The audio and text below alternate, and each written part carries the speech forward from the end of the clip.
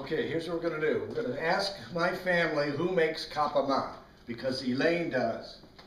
And here's the kapama. Whatever. Oh, Well, Kapama is a the history, huh? Kapama is a Greek method of cooking. You can cook beef, any kind of meat, chicken, kapama. It's made with uh, cinnamon. Elaine will tell you how she made it.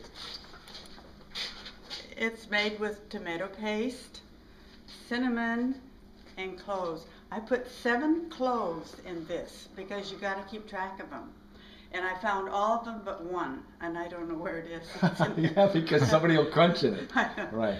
Um, but anyway, And you first bake it? you brown the chicken with lots of onion, right?